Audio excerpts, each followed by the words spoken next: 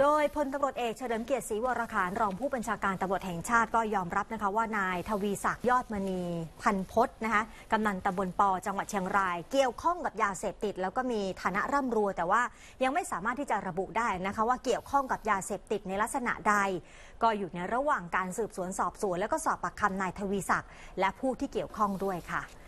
ส่วนปมสังหารจากการลงพื้นที่ตรวจสอบที่เกิดเหตุก็คาดว่ามือปืนแล้วก็พวกเนี่ยน่าจะรู้เรื่องของเส้นทางแล้วก็ชำนาญในพื้นที่ แล้วก็มารอดักซุ่มสังหารในจุดดังกล่าวนะคะ แล้วก็เชื่อว่า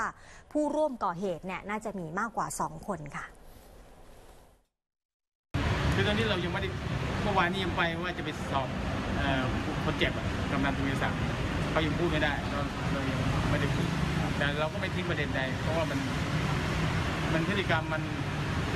บาดรุนแรงแต่น่าจะเป็นคนที่รู้จักหรือว่าคนที่ชำนาญพื้นที่ถูกต้องไหมพี่ อย่างน้อยต้องรู้เพราะว่า